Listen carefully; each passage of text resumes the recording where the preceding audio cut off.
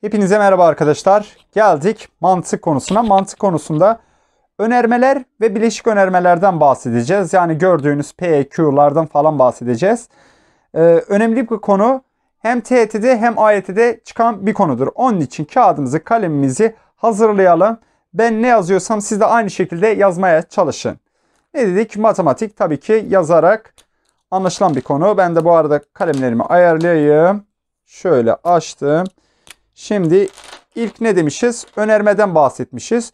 Doğru ya da yanlış kesin hüküm bildiren ifadelere biz ne diyoruz arkadaşlar? Önerme. Bakın kesin hüküm bildirecek. P, Q, R, S gibi küçük harflerle gösterilir. İlk önermemizi şöyle demişiz. En küçük asal sayı 2'dir. Önerme mi? Evet önerme. 4 artı 3 8. Tamam sen diyorsun ki 7 ama bunun hakkında kesin bir fikrin var değil mi? Ne diyorsun? Kesin 7'dir. E 8 yazmış. Önemli değil. Doğru ya da yanlış olduğuna bakmıyoruz şimdi. Önerme mi değil mi? Evet. Kesin bilgi. 5 büyük 4'ten bir önerme mi? Kesinlikle bir önerme. Kesin bir hüküm bildiriyor. 12 asal sayıdır. Kesin bir e, bilgi. 12 asal değil. E bunu biliyorum. Ha yanlış doğrusuna bakmıyor. Önerme mi değil mi ona bakıyorum. Ne olacaktı? Doğru ya da kesinliği belli olacaktı. Erzurum Türkiye'nin en güzel şehridir. Kime göre neye göre kesin bir bilgi olmadığı için önerme değildir. Çok güzelsin. E böyle bir şey yok. Kime göre güzelsin, neye göre güzelsin? Bir de cümle bildiren ifadeler kesinlikle önerme değildir arkadaşlar. Önermenin ne olduğunu öğrendik mi? Evet. Şimdi gelelim önermenin doğruluk değerlerine. Bir önermenin doğru ya da yanlış olduğunu belirten 1 ve 0 değerlerine önermelerin doğruluk değeri denir. Önermenin doğruluk değeri 1 ise 1 yazıyoruz, yanlış ise 0 şeklinde yazıyoruz arkadaşlar. Şu şekilde bir P önermesi 1 ya da 0 şeklindedir. Doğru veya yanlış. Ha burada şimdi birazdan bir bilgi vereceğiz. Bakın P önermesi bir tane olduğu için 2 üzeri 1'den 2 tane doğruluk değeri vardır. Onun için biri doğrudur, biri yanlıştır. Hemen akabinde denk önermenin ne olduğunu söyleyelim. Doğruluk değeri aynı olan önermelere denk önerme denir. Şu şekilde gösterilir. Eğer şu şekilde gösteriyorsa denk olmayan önermedir. Zaten bunlar bildiğiniz bilgiler. Hemen geçelim. Konunu içine girelim. Doğruluk tablosu çizme. Şimdi ne dedik az önce? En önerme için 2 üzeri n tane farklı doğruluk durumu vardır. Nasıl mı? Şimdi P şunu kalemi değiştireyim. Hangisiyle yazayım? Kırmızıyla mı? Yok. Siyahla yazalım. Şimdi arkadaşlar 1, 0. Burada bir tane varsa 2 üzeri 1'den 2 tane. Bunlardan biri 1'dir, biri 0. Ha geldik. Eğer 2 tane ise 2 üzeri 2'den 4 durum vardır. P'nin 4 durumu varsa ikisi doğru, ikisi yanlış. Bu şekilde yazıyoruz. Dikkat edin burada iki tane varsa 1, 0, 1 şeklinde gidilir. Geldik 3 tane varsa 2 üzeri 3'ten arkadaşlar 8 durum vardır. Peki bunları nasıl yazacağız? Şöyle görüntü düzgün mü? Evet. Tamam. P önermesini eğer 8 tane ise 4 tanesi doğru. Bakın 4 yazdıktan sonra 4 yanlışını da yazıyorum. 1, 2, 3, 4. Daha sonra burada 4 tane varsa burada 2 tane doğru yazıyorum. Bakın 4, 2 burada o zaman 1 şeklinde gidecek. Peki devamı nasıl olacak? Hocam 4 doğru yazdınız, 4 yanlış. Burada bunu karıştırmamak adına böyle yazıyoruz. En azından daha iyi bilgi olsun diye. Şöyle ekranı da düzelttik mi? Okey. Şimdi ne o zaman yazacağız? 0, 0, 1, 1, tekrar 0, 0. 2 doğru, 2 yanlış. 2 doğru, 2 yanlış. Burada da bir doğru, bir yanlış. Bir doğru, bir yanlış. Bir doğru, bir yanlış. Bir doğru, bir yanlış şeklinde gideceğiz. Eğer 4 tane olsaydı P için 8 doğru, 8 yanlış. Şöyle 8 tane 1 yazacaktık. Daha sonra 4 tane 1 yazacaktık. Sonra 2 tane 1, sonra bir tane 1 şeklinde aynı şekilde devam edecektik. Doğruluk tablosunu bu şekilde yazıyoruz. Zaten en sıkıcı kısmı da burası. Burayı öğrendik mi bitti. Şimdi Gelelim önermelerin olumsuzuna. Şimdi bir tane önermemiz var. Bu önermemiz ne olsun? P önermesi. P önermesinin olumsuz arkadaşlar P üssü veya şu şekilde P uzun çizgi şeklinde yazılır. Bir önermenin hükmünün olumsuzu alınarak oluşturan yeni önermeye önermenin değili denir. Ve eğer P önermemiz 1 ise olumsuzu sıfırdır. Ya da bir Q önermemizin kendisi sıfır ise doğruluk değeri ne diyoruz? Değili 1 şeklinde olacak. Ha geldik şimdi P'nin değilinin değili. Arkadaşlar bir önermenin değilinin değili yine ne olur? Kendisi. Fonksiyonlardaki gibi. Tersinin tersi yine nedir? Kendisidir diyoruz. Değil mi? Evet. Güzel. Şimdi önermenin olumsunda öğrendiğimize göre gelelim bileşik önermemize. Sık karşılaştığınız ve asıl soru gelecek kısmı. Şimdi bileşik önermelerden ve veya ya da ise ancak ve ancak olmak üzere 5 5 başlık altında inceleyeceğiz arkadaşlar. İlk başlığımız veya. Veya da yine P önermesi ne var? Burada 2 üzeri 2'den 4 durum var. 1 birimizi yazalım. 0 sıfırımızı yazalım. 1 0 1 0 şeklinde yazdık. Şimdi bunu zaten herkes yazabiliyor. Ha. Ve önermesi arkadaşlar toplam şeklinde düşünebilirsiniz. Ya da yumuşak böyle biraz daha yumuşaktır. Birazdan V'ye geçtiğimizde durumu daha iyi anlayacaksınız. Yumuşak ya da bize lisede hocalarımız şöyle gösteriyordu. Anne diyebilirsiniz. Ne gibi anne derken? Şimdi bir doğru değil mi? Evet. Bir de doğru. Eğer doğru doğru yaparsanız anneniz size kızmaz. O da bir verir. Bir doğru yaptınız bir de yanlış yaptınız. Anneler biraz daha yumuşaktır. Kızmaz. Ya da 1 artı 0 gibi de düşünebilirsiniz. Yine 1 olur. 0 at bir hata yaptınız bir doğru yaptınız. Anne kızmaz yine birdir. Ha. Ama yanlış yaparsanız ikisinde de anne ne yapar? Kızar mı? Evet. Bu şekilde diyoruz. Neymiş? Eğer ki ikisi de yanlışsa veya bağlacında veya bağlacı bu şekilde gösterilir arkadaşlar. Şöyle altını çizmeseydik keşke. Eğer ikisi de yanlışsa yanlış. Diğer tüm durumlarda nedir? Doğru. Şimdi özelliklerine bakalım. P veya 1. Şimdi işin içinde bir varsa zaten annedir. Bir kere doğru yapmışsa öbürüne bakmadan ne der? Yine bir verir.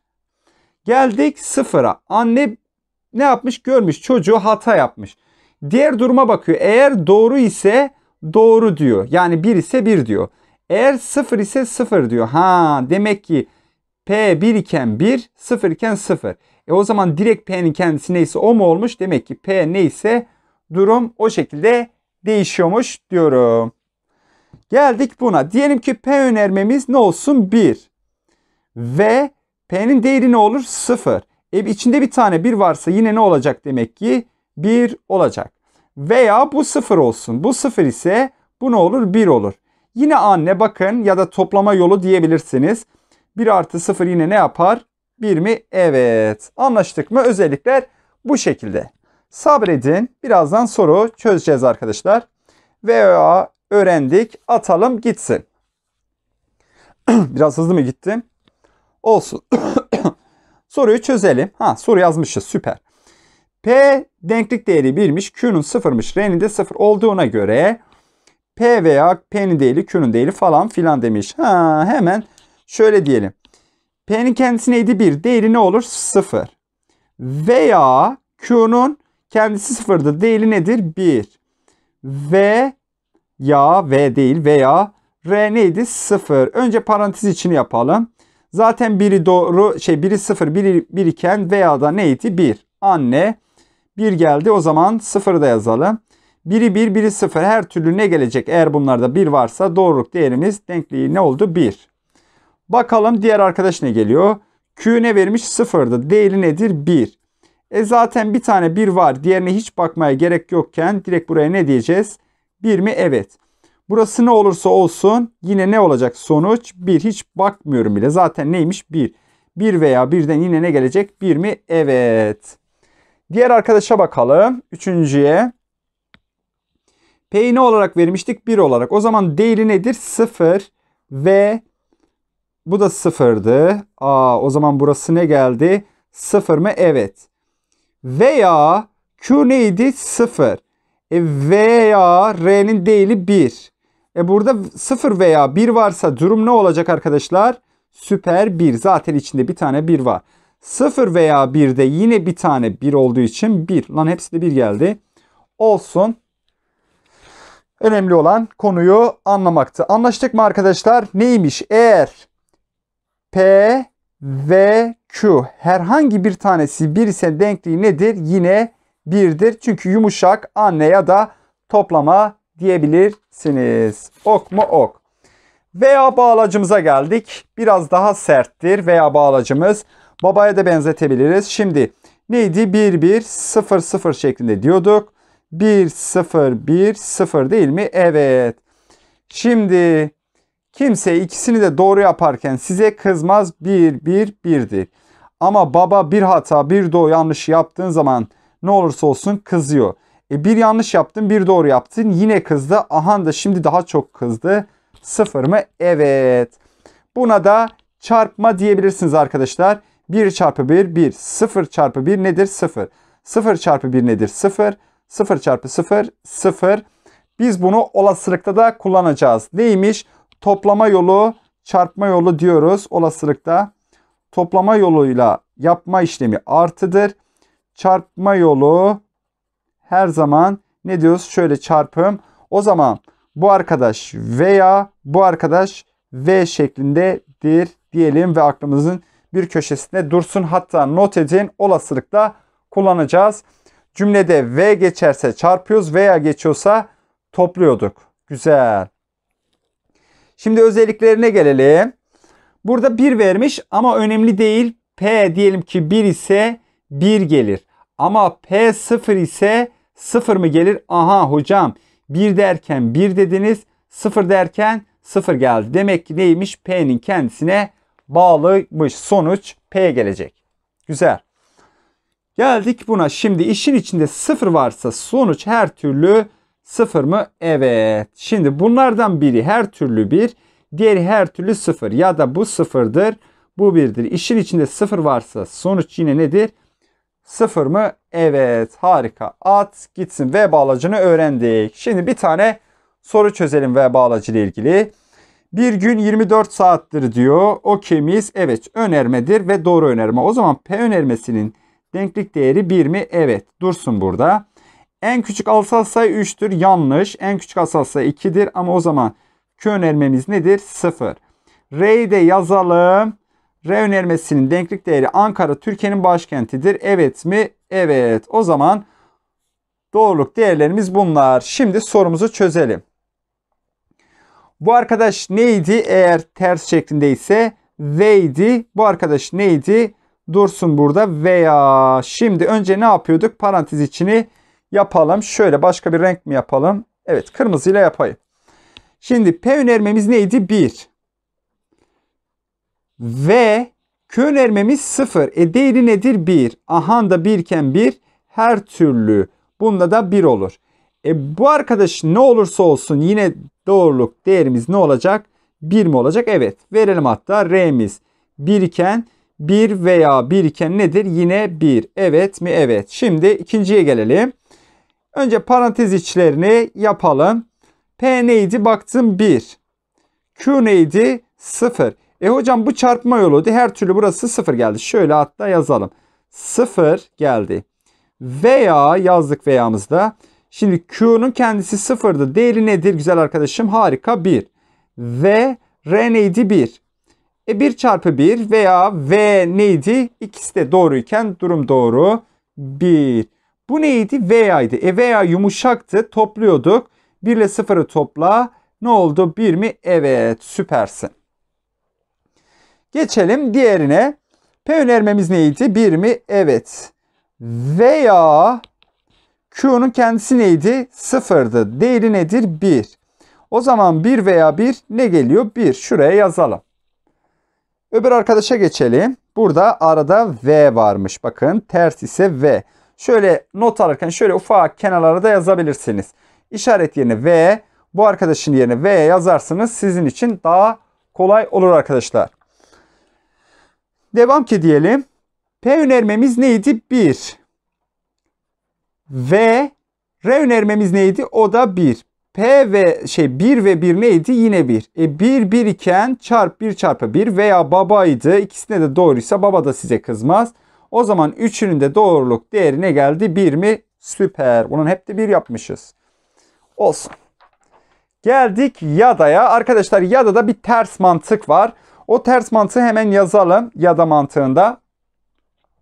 Şu şekilde 1, 1'i 0, 0'ımızı yine yapıştıralım. 1, 0, 1, 0'ı yazdık. Şimdi buradaki ters mantık şu. Ya da aynı fikirde insanlar gibi düşünün. İkisi de aynı fikirde ise burada ters mantıktan 0 diyeceksiniz.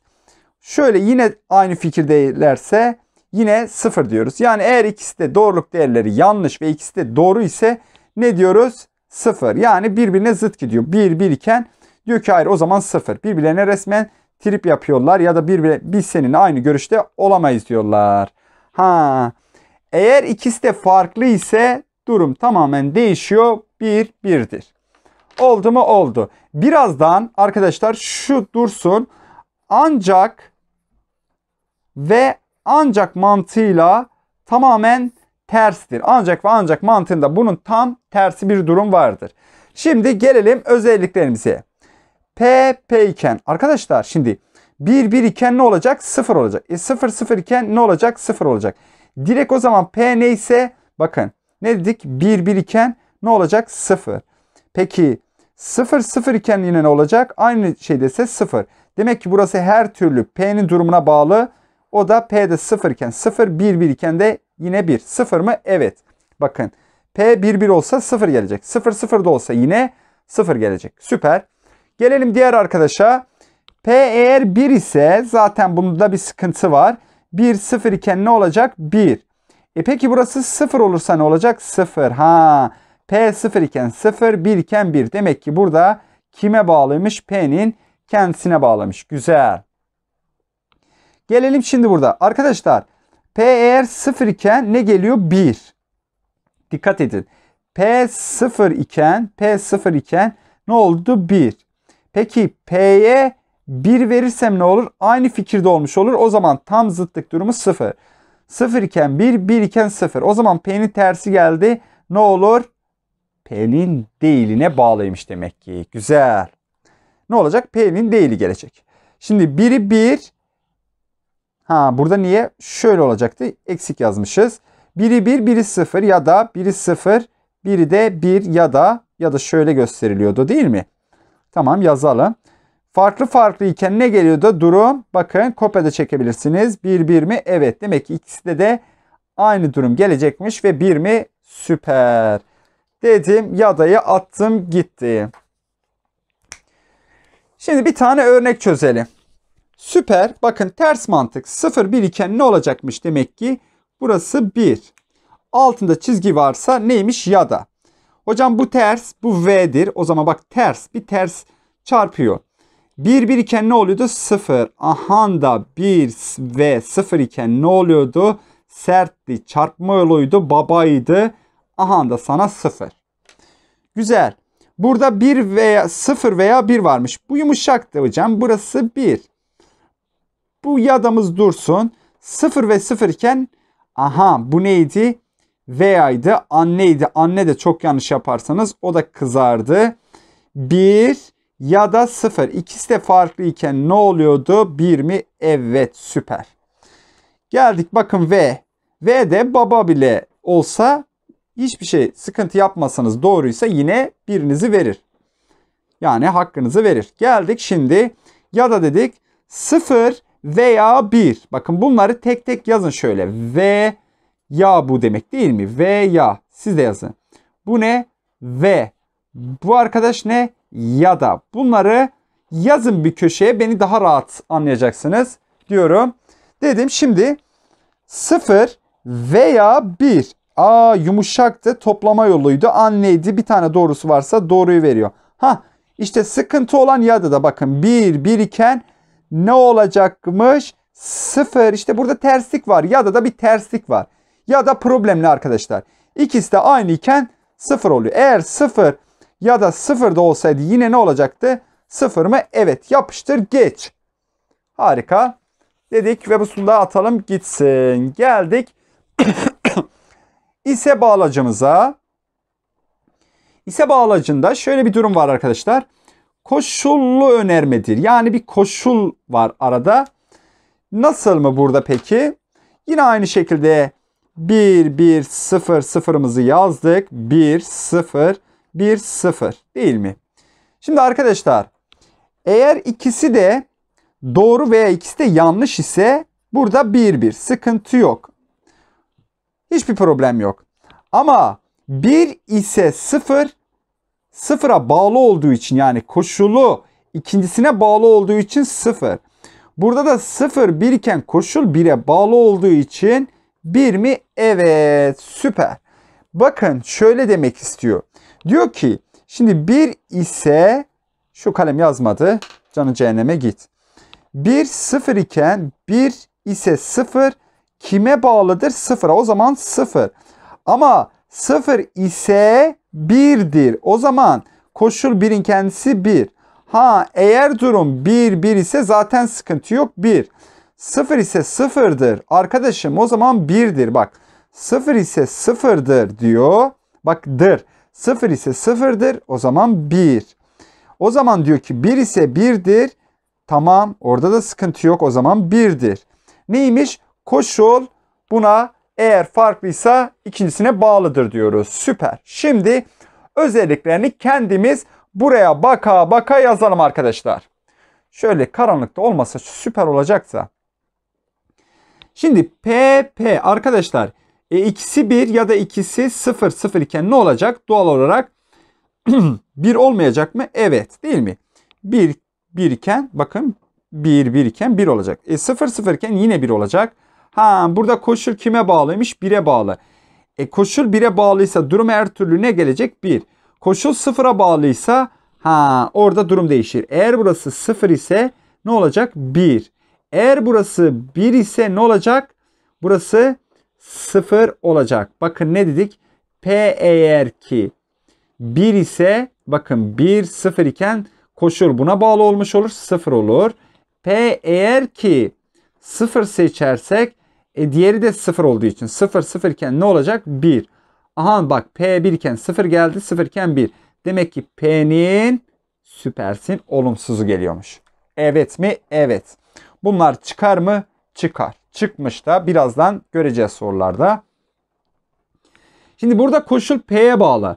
P 1 olsa 1 olacak.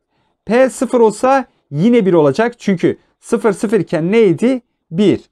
E 1 ise zaten koşul 1'e bağlı olmuş olacak. Yine durum ne olacak? 1'in kendisi mi? Evet. Yani neydi? 0 iken de 1 geliyor. 1 iken de 1. Tamam. Sıkıntı yok. P falan değil. Ha geldim burada işte. Burada problem şu. Şöyle farklı kalemle yazayım.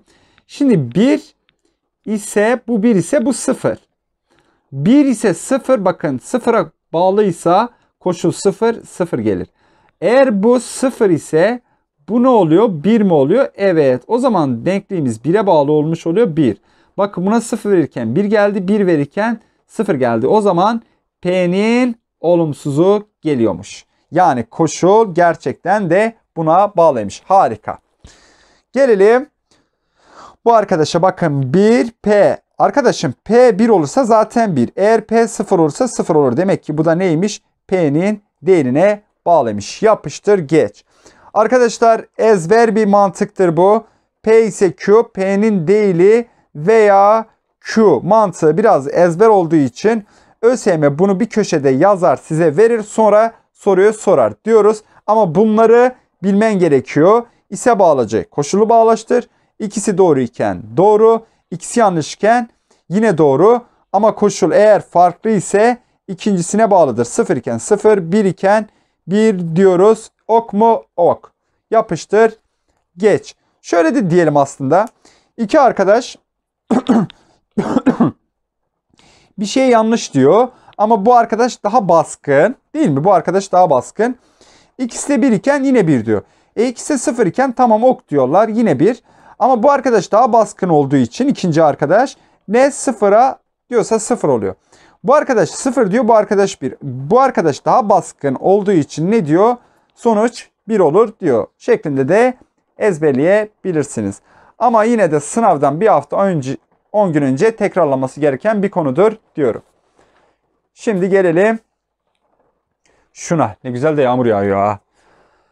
2018'de çıkmış hatta bakın dikkat edin AYT'de bile çıkmış bir soru arkadaşlar son yıllarda AYT'de de geliyor. A, B ve C sıfırdan farklı birer gerçel sayı olmak üzere demiş. Şöyle 3 tane önermemiz var. Önermeleri veriliyor diyor. P, Q, P, V şöyle yazalım hatta hop bakın P, V sınavdayken siz de deyin. Bu neydi? İse yani koşullu önermeydi. R'ye bağlı. Önermesi yanlış. Yani ne olmuş? Sıfır gelmiş. Olduğuna göre A, B ve C sayılarının işaretleri sırasıyla aşağıdakilerden hangisidir? Ha. Şıkları yazmamışız. Önemli değil. Şimdi bulalım sorumuzu. Şöyle yazayım. Farklı bir kalem mi kullanasam? Şunu yazayım. P, V, Q ise R o da ne gelmiş? Sıfırdır diyor soru. Arkadaşlar şurayı kapat. Durum R'ye bağlı değil mi? Evet. O zaman R kesinlikle nedir? Sıfır. Hemen R'nin kendisine geliyorum. Diyor ki C sıfırdan küçüktür. E hani yanlış diyor. O zaman C sıfırdan büyüktür. O zaman C nedir işareti? Artı. E burası neydi? Sıfır ise burası kesinlikle 1 olmak zorunda. Zaten 0 0 olursa 0 gelmez. Demek ki P ve Q denkliği neymiş? 1. E hocam bu V'di. V'de 1 olması için ikisinin de 1 olması gerekiyor. Demek ki P önermesi de denkliği 1. Q önermesinin denkliği de 1'dir. Harika. Şöyle al. Gel şimdi amcamın çocuğu P1. E P1 ise diyor ki P1 doğrudur diyor. Ha Q'ya bakalım önce. Şimdi A, C neydi? Sıfırdan büyük. Ne olsun? 5. E demek ki bu sıfırdan küçük geliyorsa A nedir? 5'ten rakamsal olarak büyük eksi 6'lı bir şey ki sıfırdan küçük gelmiş. O zaman şuraya çaktırmadan A'nın eksi 6 olduğunu yazayım. Bu eğer 5 ise zaten sonuçta sıfırdan küçük gelmiş. E bu doğru. Neden doğru? Bak diyor ki Q doğrudur. Ha hocam o zaman burası eksi 6. E bu eksi 6 ise sonucun sıfır gelmesi için B'nin de artı 6 olması lazım. O zaman A nedir? Sıfırdan küçük. B nedir? Sıfırdan büyük. Artı mı? Evet. Şıklarımıza eksi, artı, artıyı görüp yapıştıracağız arkadaşlar. Oldu mu? Oldu. Güzel. Dedik. Şimdi koşullu önermenin karşıtı, tersi ve karşı terslerine bakacağız. MSÖ'de çıkmıştı arkadaşlar. Bu seneki daha 2 hafta önce MSÖ'de böyle bir soru çıkmıştı. Yani işte ders çalışırsam kazanırım, kazanamazsam ders çalışmamışım falan filan gibi. Orada zaten cümlede anlarsınız. Şimdi karşıtı şu. PQ önermesinin karşıtı. O zaman Q ise P'dir. Tersini diyor. Tersi P ve Q'nun tersi şu şekilde. P'nin değili gibi. Q mu? Evet Q'nun değili. Karşıt tersini diyor. Önce karşıtı ne bir kere? Q ise P. Karşıt tersi de şu şekilde mi? Ok mu? Evet. Bu üç ifadeyi mantıksal olarak anlarsam değil MSÜ'de KPSS'de bile gelse yaparım arkadaşlar soruyu. Güzel o sorunun çözümünde en sona bırakalım. Bakın LS sorusu varmış. Güzel. Önermesinin yanlış olduğu biliniyor. Neymiş bu önerme? Sıfır çıkmış. Aha da az önceki sorunun aynısı. Burası demek ki neymiş? R'miz sıfır. Öğrendiniz hepiniz. Burası sıfır. Harika. Sonra ne yapıyorum? Arkadaşlar bunu yazdım. Tamam devam ki diyelim. Burası PQ dağıtalım mı? Dağıtmayalım. Dur. Ha burası ne olacak? Direkt şurayı bir şey, herhangi bir ifade gibi düşünürsem 1 ise 0 sıfıra bağlıydı. O zaman P ise Q önermesi, Q önermesinin denklik değeri 1. Demek ki ikisi de 0 sa ikisi de 1 ise evet mi? Evet. Şimdi Q veya P hakkında kesin bir şey bilmiyorum. Ya ikisi 0 0 ya ikisi 1 1'dir. Değil mi? Evet. O zaman önermelerden hangileri her zaman doğrudur demiş. Şimdi P ise Q Önermesi 1 mi? Evet. Kesinlikle bu doğru. Q ise R. Şimdi R 0. Burası 0 olursa sonuç 1 gelir. Ama 1 ise 1 0 iken sonuç 0 gelir. O zaman bunun hakkında tam bir bilgiye sahip değilim. R 0. Şimdi Q da 0 olursa ne olur sonuç? 0. Ama R'nin 0 olduğunu biliyorum. İse P 1 ise ne olur? Koşullu. Buna bağlı o zaman 1 olur. E bu sefer de bu değişiyor. O zaman kesin bilgi yok. Yalnız 1 mi? Evet arkadaşlar. 1 kesinlikle doğrudur. 2017 LAYS sorusu. Şimdi az önce ya da mantığında söylediğimizin tam tersini burada söyleyeceğiz arkadaşlar. Yada'yı önce yazalım şöyle 1 1 0 0 1 0 1 0'dı değil mi? Güzel. Ya da mantığında ne demiştik? İkisi de doğru iken sıkıntı bir durum vardı. Sıfırdı. Sıfır sıfır iken yine sıfır. Değil mi? Ha burada tam tersini diyeceğiz. Ha ya da yazıyordum lan. Ya da'yı yazma. Bunu yaz. Ya da'daki mantığı şöyle yazalım. Sıfır sıfır. İkisi de farklı iken bir birdi değil mi? Evet. O zaman bunda tam tersi. Eğer ikisi de doğru ise do, e, ikisi de doğru iken doğru ikisi de yanlış iken yine doğru diyoruz. Yani 1 1 iken 1 0 0 iken ne diyoruz? 1. Diğer durumlarda ne olacak? 0. Yani arkadaşlar şuna ya da mantığını öğrenin. Ancak ve ancak mantığı onun tam tersi. Güzel mi? Güzel. Şimdi ne diyor? P ancak ve ancak P'dir. E, tamam sıkıntı yok. 1 1 iken 1. 0 0 iken yani 1 1'e gidiyor. Tekrar 1 1'e geliyor. 1 ise tekrar bu buna geliyor. Yani diyor ki ancak ve ancak hem P P'ye gidiyor hem P tekrar P'ye geliyor. O zaman her türlü durumda ne olur? 1. Şöyle bu kalemi de değiştirelim. Burada ne diyor? Biri birinden farklı. E biri birinden farklıysa durum bakın buradan kopya çektim. 0 mı? Evet. Biri 1, biri P. Şimdi P 0 iken 0 gelecek. P 1 iken 1 gelecek. O zaman P'nin kendisine bağlı. Harikasın. Aferin sana. Şimdi 0 işin içinde var. Bu demek ki 0 ise 1 gelecek. E 1 iken 1 0 farklı olduğu için 0 gelecek. Bakın şöyle cümlemizi toparlayalım. Hocam burada 0 verirsen 0 ancak ve ancak 1. Ne gelecek? İkisi farklı olduğu için 0. E 1 verelim. Ha şurası 0'dı pardon. Şöyle o zaman bir daha bunu sil. Sil. P, P yerine 0 yazdım. Şöyle.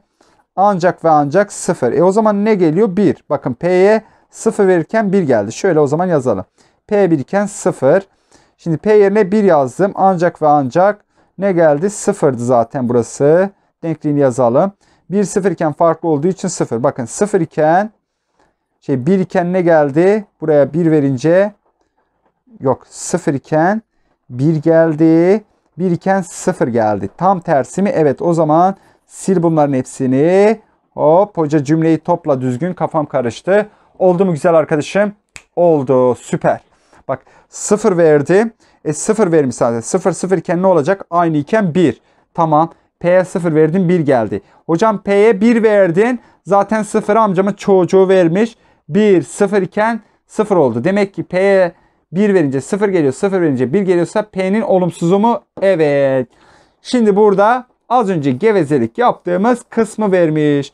Tam tersidir diyor. Olumsuzu mu? Evet. Süper.